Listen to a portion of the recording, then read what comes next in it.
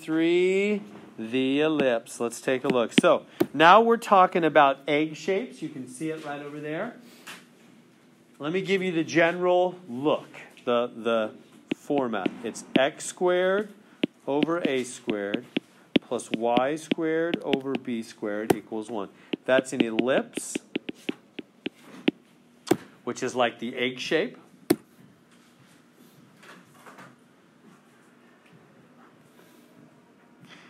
And whatever, the way you graph it, is whatever A is, that's right and left A.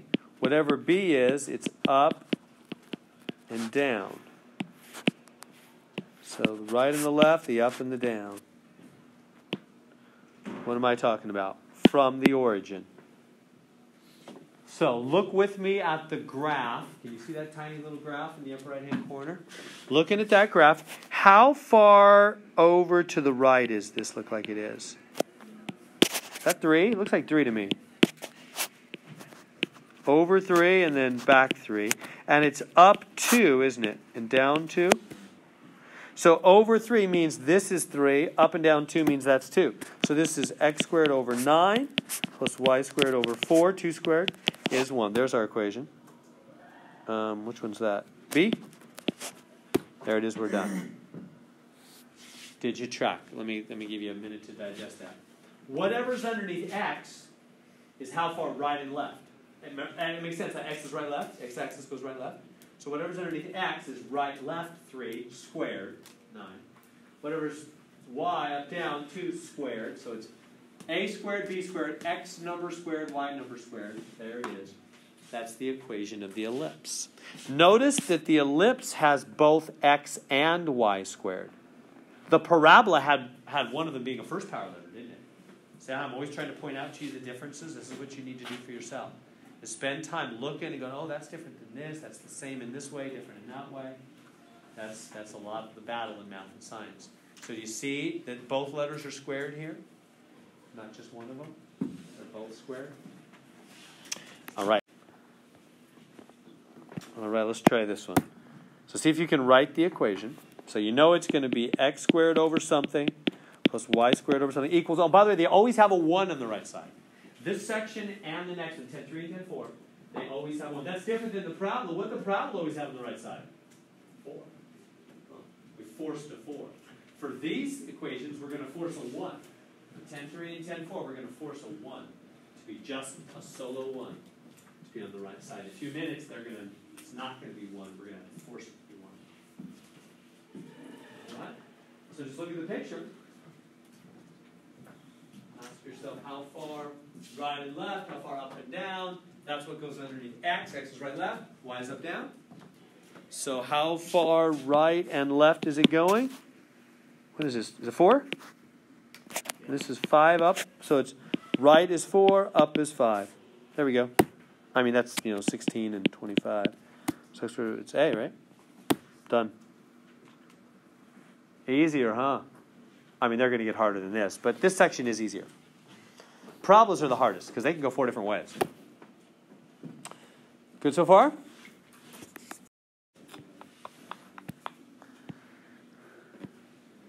Okay, so they're giving me the equation x squared over 49 plus y squared over 16 is 1. And they want me to basically graph it. So let's graph it. Even though they're not saying graph, it, graph's always the best thing. So, what do we have to do? We've got to give it a look again. That's what we're always doing in math and science. So, what look? I got to make this bottom number be something squared. That's 7 squared, and that's 4 squared, huh? Yeah, so just replace that replace that. Okay, so what? Why, why, why do you do that? Why is that helpful? Because then that tells you this number is how it's under x. So that's how far right and left. 1, 2, 3, 4, 5, 6, 7. 1, 2, 3, 4, five, six, seven. That means over seven up zero, back seven up zero. And what is the four? Since it's under y, it's up down. One, two, three, four. One, two, three, four. So there's my egg shape. Looks like a football or something. So there we go. So that's what they're asking for right here. What are the coordinates of the vertices? These are called the vertices. This and this. The vertices are the endpoints. Endpoints, the, how do you say it? The biggest endpoints. Is that? That's not really true. It's the widest direct endpoints. I'll, I'll use their words on the major axis. What do I mean? Well, this egg shape is wider than it is tall. Some of them are taller than they are wide. So what so the major axis is the longest axis. What do I mean? Meaning this one has is wider than it is tall. So the major axis on this one is the x-axis, isn't it? This one's wider. The other axis you would call the minor axis. So the y-axis is the minor on this one. The x-axis is the major. It's wider than it is tall. So and so the vertices are the endpoints on the major axis. In other words, it's not going to be, what, what is this dot up here? This is over 0, 1, 4, right? They don't want that. They might ask for it on some other problem, but in general, they don't care about that. They don't care about the two dots on the minor axis. Those are minor, I guess. All they care about when they say what are the vertices, they don't. You might think they mean all four dots. They don't. They just mean the two dots on the major axis. There's a lot of particular facts you got to keep straight with these all these different shapes. There's a whole language here. So they mean the dots on the major axis. Okay. So then they're asking for something else as well. The foci. What's that? That's the plural of focus. That's the plural. That's two focus points. The foci. They want me to find. So now these these shapes don't just have one focus point. They have two focus points and the focus points are always located on the major axis. So maybe it's like right here and right here. I'm sort of guessing right now. It's going to be something like that. The focus points are always located, there's always two of them, and they always sit on the widest. So if the, if the shape is wider than it is tall, they'll be right and left. If the shape is taller than it is wide, they'll be up and down. So the focus points always go in the big direction. So, okay, so the right and left. How far right and left? How exactly do we find how far right, how far left to those focus points? Well, there's a special equation. Let me um, squeeze it in for you up here. Here's the equation. Maybe you've seen it before. C squared is a squared minus b squared. It's like the Pythagorean, but it has a minus in the middle. See that minus? That's the difference. The Pythagorean is plus in the middle, isn't it? C squared is a squared minus b squared. Now, what, what is that? C is, is stands for focus, which is different than the parabola. A and what's A and B? A and B are the numbers underneath x and y. So you got to learn a whole new language here. Do you see that? What, what did A stand for in the last section in 10.2? That was what we used for focus. Right? In the last section in 10.2, A was the focus. Not so in this section. C is the focus. So they're using different language. So you really, it takes practice and time, hours of your life to get all this straight. C is the focus, and this and the next section. What's nice is this section, next one are almost identical. Almost identical. So these two sections, C will be the focus, and A and B are what's underneath X and Y. That's A and B. All right. So let's uh, let's find now. C is how far to the focus. So let's let's find it. So C squared then is A squared. Well, this is actually A squared and B squared. So it's 49 minus 16. C squared is A squared minus B. A squared and B squared. So I, I mistakenly said A and B are underneath. It's A squared and B squared that are underneath the x squared and the y squared. So c squared, then subtract that is what? 33? And then how do you solve for c? Root it. When you put a roof on the house? Up and down letter. So c is plus or minus root 33. That's why one of them is over. Here, let me change my color here. One of them is over plus root 33 comma 0. The other one is minus root 33 comma 0. That's where the two focal points are. They're at plus and minus root 33 comma 0. There they are. Which is 5 point something. So the coordinates, these are the, so they want you to type in minus root 33 comma 0 comma regular root 33 comma 0. Can you read that? That's pretty scribbly.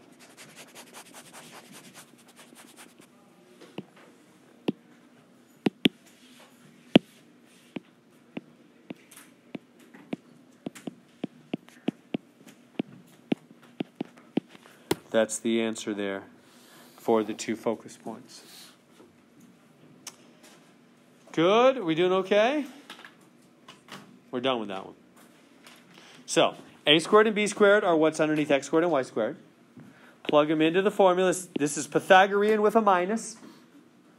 Solve for c. That's where the focal points are. A squared and b squared tell you how far, you know, right and left, up and down for the ellipse. Now, let me give you some real life here. What are these focus points and where does this shape come from? The focus points are what produce the shape. If you take two focal locations, imagine if you take um, two nails on a board and you have a string loosely connecting them. If you have two nails on a board and a string loosely connecting them, if you then pull that string tight, you like say if you pull it tight, say come up to maybe here. So you have these two focus points. You pull the string till it's tight, and then you begin to draw with a marker. You put a marker right here. You put a marker down and you hold the string tightly as you draw. Guess what you'll get? And then you go to the bottom. Well, that's the extent of my artistic skills. That's the ellipse. That's what it is. It's the shape if you had two focal points fixed and some string and you pulled it tight and drew. That's what an ellipse is. It's generated by those two focal points in that way. So the focus to two focal points, the foci, generate the ellipse. In other words, what the ellipse is, what an ellipse is, is all points, you tell me, I'd be impressed if you could come up with it, all these dots, how do they relate to this distance and that distance?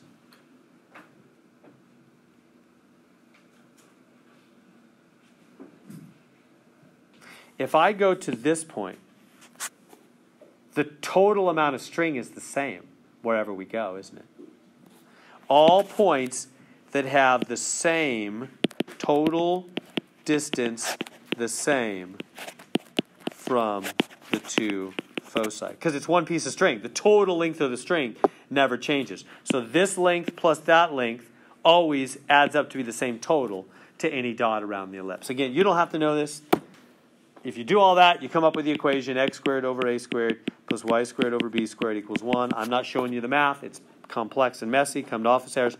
Be glad to show it to you. But that's where it all comes from. Two fixed points, total distance, all the points that are the same total distance from those two foci. That's what an ellipse is. All right. So now they're given some information. All right. So let's try them. Can you draw a graph? Ten more minutes. We'll get about maybe two or three more done, I hope. Get close to halfway. So we'll finish this up after the break and 10 4 as well. These are the last two sections on exam three.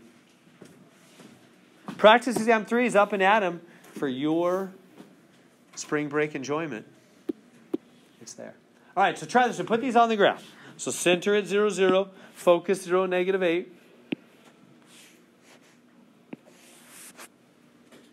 So 0, 0, there's the center. Over 0, down 8.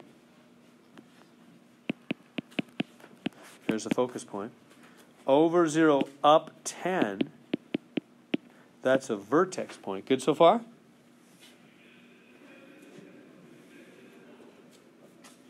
Okay.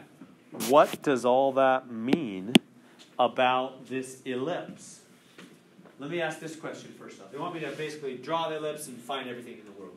So, just from that information, I can do it. Is the ellipse, here's the first question, is the ellipse wider or taller?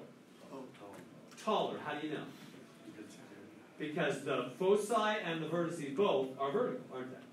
So those, the foci and the vertices are always on the major axis, the longer axis. So they're up and down, this thing's taller than it is wide. Okay, here's the center.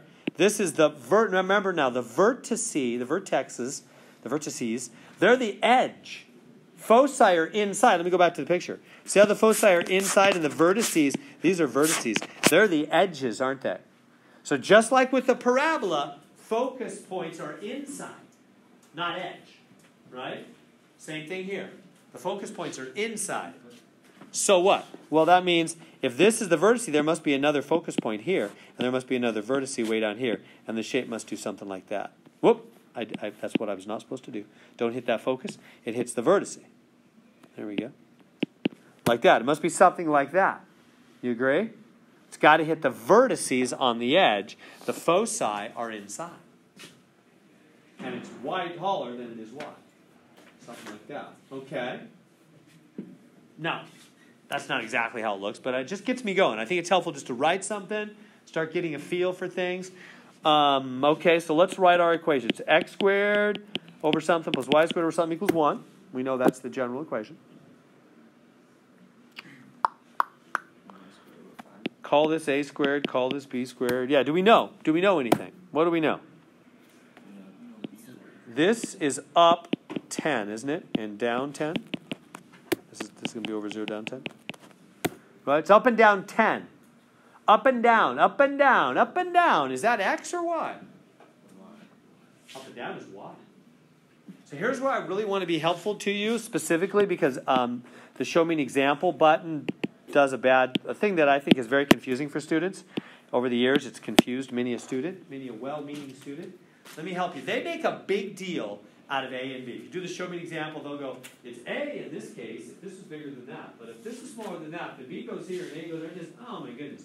It's so, we have so much to worry about already without them making a big deal out of A and B. They're right, technically, everything they say, if you click on the show me example, they're right. But I found that's very confusing for students to track with the A and the B.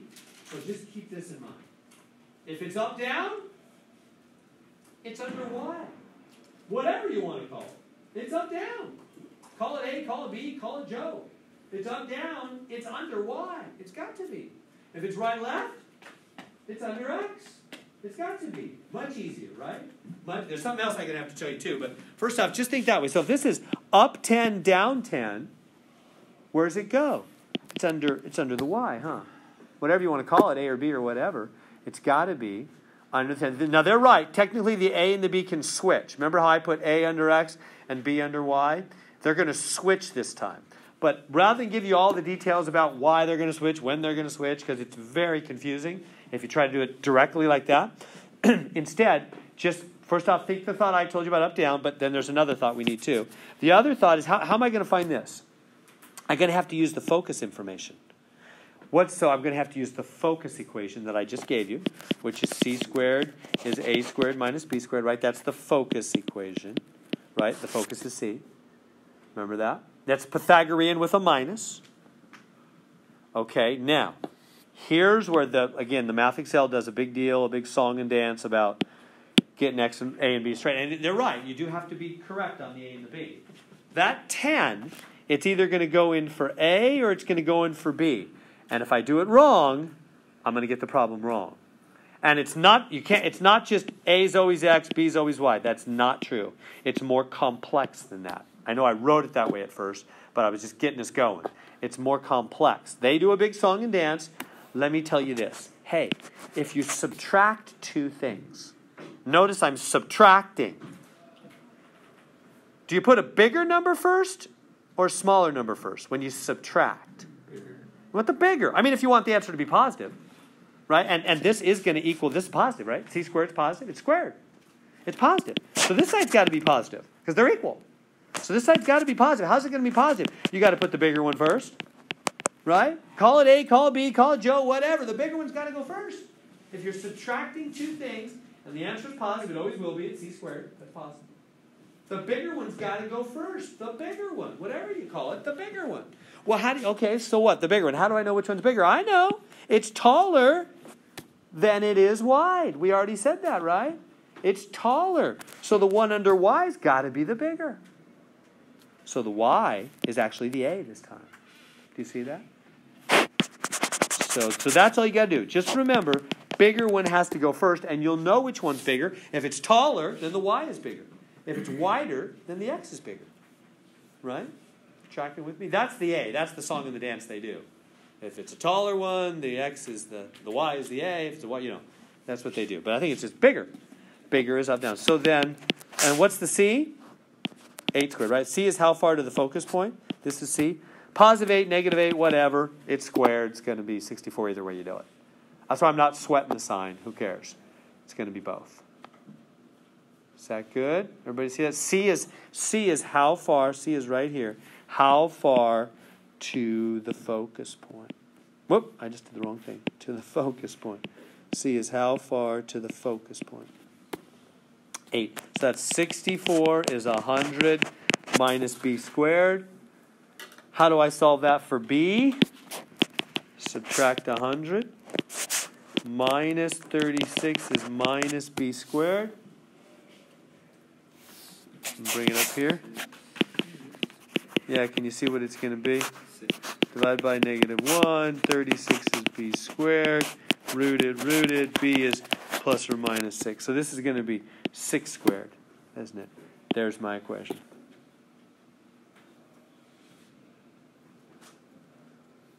Just see that? Do they want it as 6, 0, 6, comma 0? They're saying left side of the equation. They want this. Oh, okay, they just want it. They just want the left side. And then they want the graph. We got the graph. Is that good? You see that? So when you do the focus equation, since there's subtraction, whenever you subtract things, you want the bigger one first. That makes the answer positive. You want both numbers to be positive too, right? If I have a, a focus zero twelve, my vertex is zero negative thirteen. Yeah, so it doesn't matter because they're plugging into squared. So whether you plug in positive or negative, it's going to be squared. So the thirteen would be the big one, right? Say that again. The third. Okay, I'm not comparing the I'm not comparing the vertex and the focus. I'm looking at the direction. So if it's up down, the bigger one is whatever's under Y. If it's right left, the bigger one's whatever's under X. That's how we know the bigger one. It's the bigger dimension on the picture that tells me this guy must be bigger because this one's taller than it is wide. It's all about the picture. Is that good? Try on number nine. All right, they give me that little picture and they want me to work backwards to the equation in two minutes. All right, so you know the general look. x squared over something plus y squared over something equals 1. But, yeah, it's going to be right left. But before I do that, notice the center is not the origin. All the ones I've given you so far have been centered on the origin. But you know what that does? It'll be the same thing it did for parabolas. When the center is not 0, 0, you just put a number added or subtracted next to x and y in the parentheses. And it's always opposite, opposite, exactly like for the parabola. So that'll be nice and the same. So 3 means x minus 3 over whatever. And negative 1 for y means y plus 1 squared over whatever. So that's good, right? So we handle the center just like we did for parabolas. Same thing for hyperbolas that we'll do in 10.4 after the break. So there we've handled the center. Now all we need to do is find the a squared and the b squared, and we're done. How do we find the a squared and the b squared? Well, the a is how far to the right. How far is it to the right? Yeah, this is 7. This is 3. A must be 4. Good? A's right left. And what about B? B's up down. How far up and down? Isn't it just one?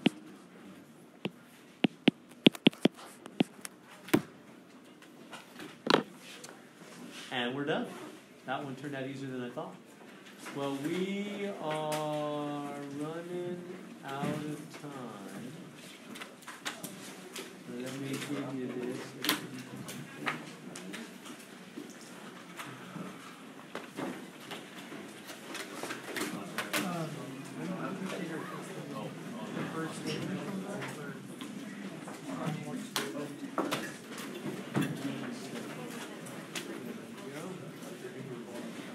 Okay, clickers are open. Click A for Apple. A for Apple. And we are done. Uh, we don't have a test the week we come back. Uh, we have, to pretend to what we do when we come back. 10 2. Have a good spring break.